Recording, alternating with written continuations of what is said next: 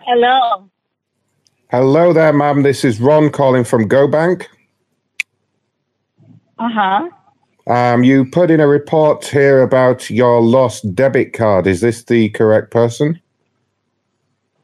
Yes, but I already talked to somebody last night, and they're shipping me one out. Right. That's the reason that I'm calling. Um, we're not going to be able to ship you a new debit card, unfortunately. Uh, we're now using the smartphone app only for payments. So you're going to have to use your the the card app on your phone. So it was just a courtesy call. On the phone?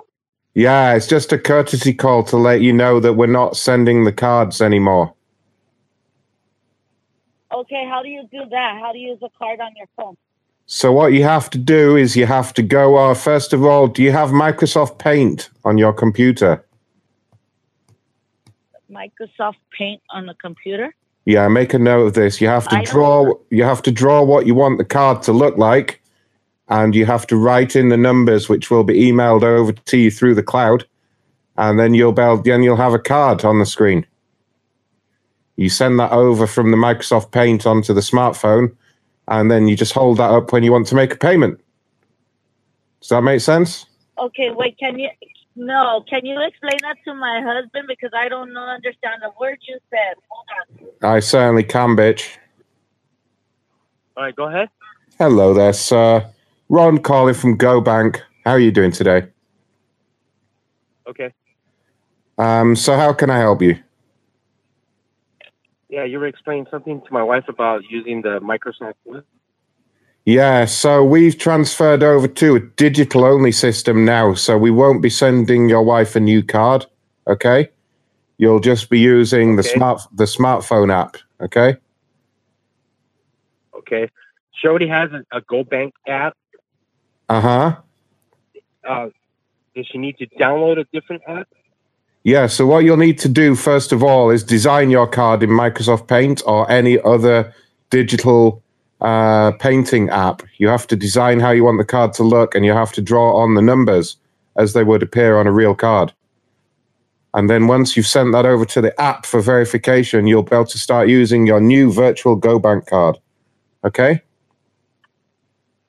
Okay. Is there any way can you send a link to.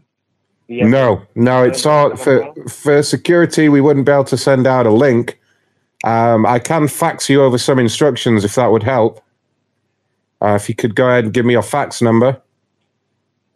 Yeah, we don't. We don't. We're not in an office. We're not at home where we have a, access to a fax. I understand. Do you have a pager at all? Um, we got a, a cell phone where you can text. I don't know if it would be compatible with a, a cell phone for security reasons. Um, the only way we can send the link out, because it is a secure link, would be I'm just going down the list here. Um, we can send it by fax. We can send it by uh, pager. We can page you. Um, let me see here. Um, we can write a letter to you, but for security reasons, we'd have to send one letter with half of your password and then another letter a year later with the other half of the password. And that is for security That's reasons. Yes, that is for security reasons. Uh, if you're unable to comprehend the app. Is there? Give me a number where I can reach you or your company. Um, the number that I'm calling from on your caller ID is the corporate office number. Um, I can right, give we'll you. We'll call back. But I can give you another number if you'd like to speak to a supervisor or anybody like that.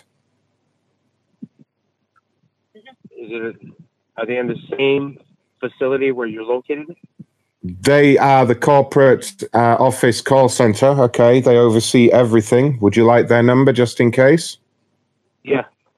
Their number would be 712 Seven one two 432 four three two 2244. two two four four. And once you call that number to get straight through to the right department, if you press 777112 on your phone, you will be immediately connected to a supervisor. One, one, two. All right. Can I ask you one more question? You certainly can. Where are you located? I'm located here in the corporate call center, sir, at corporate. Where? What do you mean, sir? I don't understand the question. Yeah. State, city, country. I'm, I'm in the United States in California, sir, right? Are you a racist? No, I was just asking, you know, because, you know, there's a lot of spoofs, about a lot of scams going on. Well, how would I be scamming you, sir? I've just told you not to give me any information. All right. There's, okay. There's no, there's no need to get into that. Okay. Well, sir, if you're worried about some fraud or uh, I'm hearing a lot of strange uh, questions here, I'm going to go ahead and put a security lock on the account just to be sure. Okay, so your account will now be locked from all debits and transactions, and that is for your security. Okay.